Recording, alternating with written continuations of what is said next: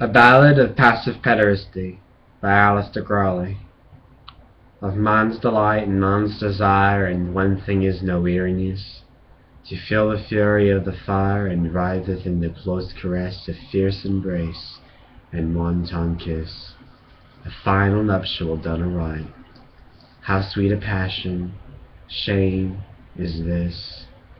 A strong man's love is my delight.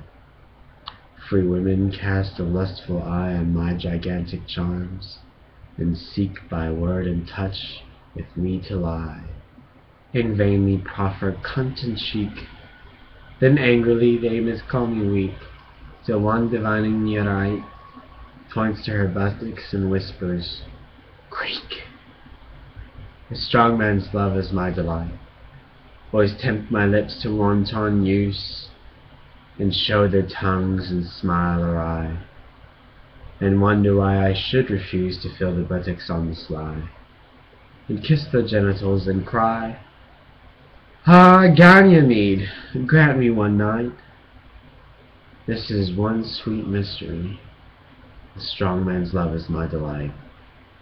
To feel him clamber on me, laid prone on the couch of lust and shame, to feel him force me like a maid, and his great sword within me flame, his breath as hot and quick as flame, to kiss him and to clasp him tight, this is my joy without a name, a strong man's love is my delight, to feel again his love grow grand, touched by languor of my kisses, to suck the hot blood from my gland mingled with fierce spunk that doth hiss and boils in sudden splurted bliss.